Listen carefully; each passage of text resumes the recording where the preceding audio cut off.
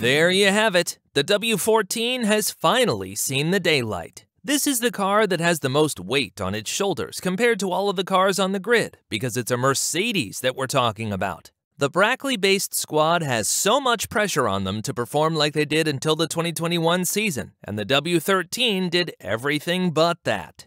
The first impressions are that Mercedes can definitely win the championship in 2023, but what kind of competition will they face? And what is different about the new version of the car compared to last year? Lastly, who will be the number one driver at Mercedes? All of this is answered in our video, so make sure to stay tuned. 2022 has been the most disastrous season for Mercedes ever since they re entered the sport in 2010, with them winning only one race. What's even more hurtful for them is that Hamilton had the first winless season of his career, finishing career low at P6 in the Drivers' Championship. Russell has shown that he can definitely bear the burden of being the number one choice for Mercedes, and that has been well recognized by the Brackley based squad. But we'll get to that later in this video, because in order for Russell to be the number one driver ahead of a seven-time world champion, he needs to have a championship-winning car. Mercedes have failed massively to capitalize on the 2022 regulations, and now they are trying to bring themselves back into contention as they hope that a couple of tweaks in the regulations will propel them back to the top. It's going to be much easier said than done, but Mercedes has definitely put in the extra hours of work to complete this milestone. It's worth noting that the staff has worked tirelessly to develop the 2014, which will be delayed at the start of the season due to a lack of parts. Okay, note to editor, I think 2014 is supposed to be W14, so I'll read that both ways.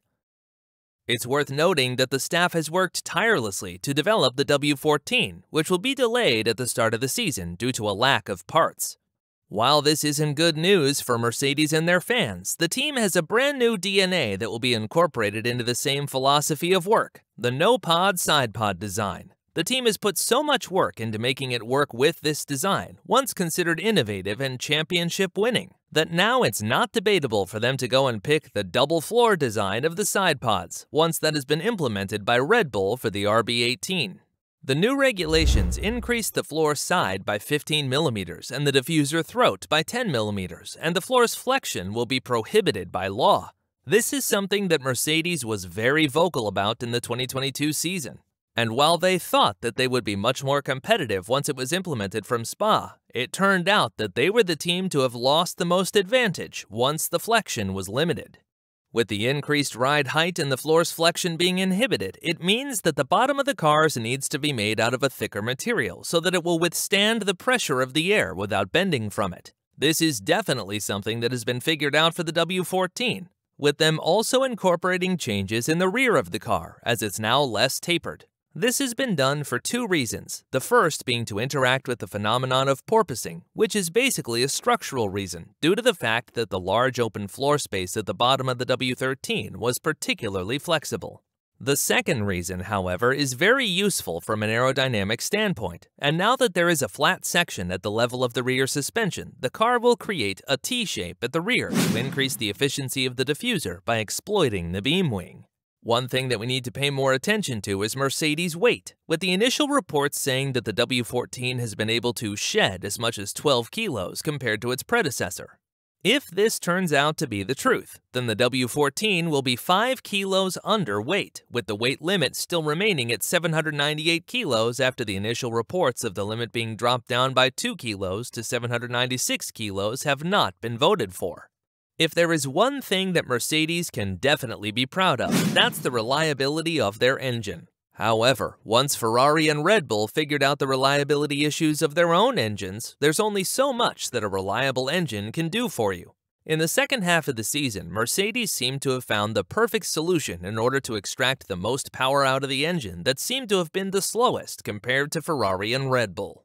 And just when you think that this is it and Mercedes cannot push for more, reports are coming from the team that the W14 engine has been empowered by 10 base horsepower.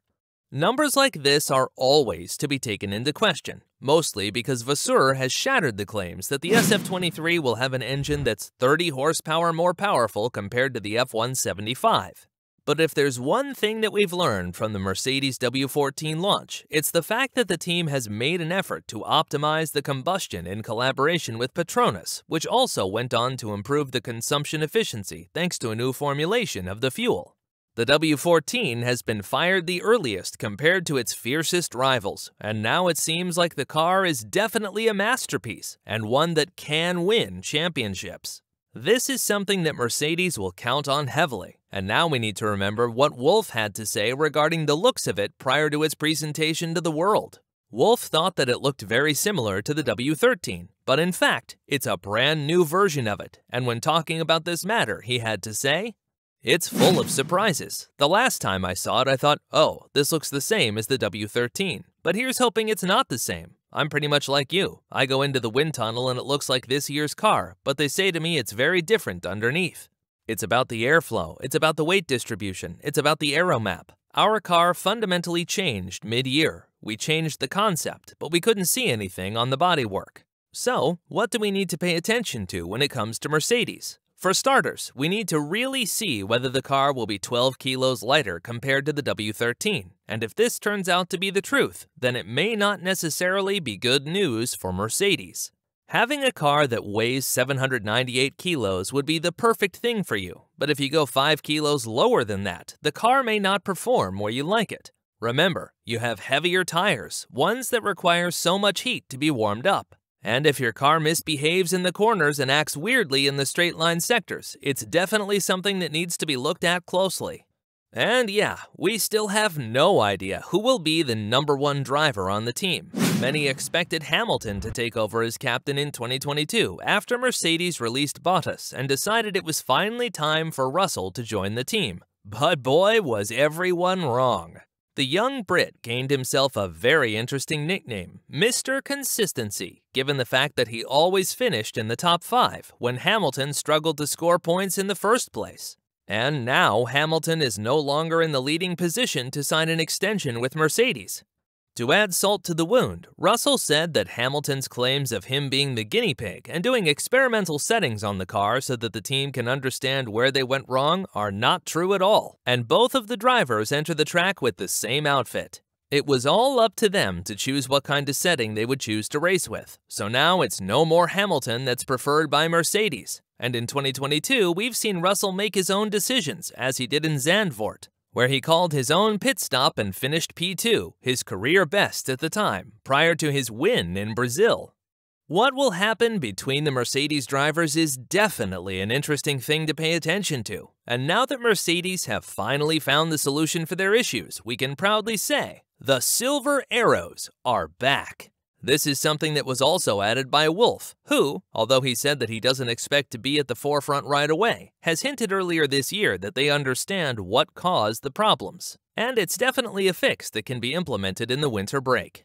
I think we have a much better understanding of what the problems were. We've been peeling only a layer of the onion, layers of discovering more issues and more problems. But I think we've come to the point that we understand pretty well why the car is not performing.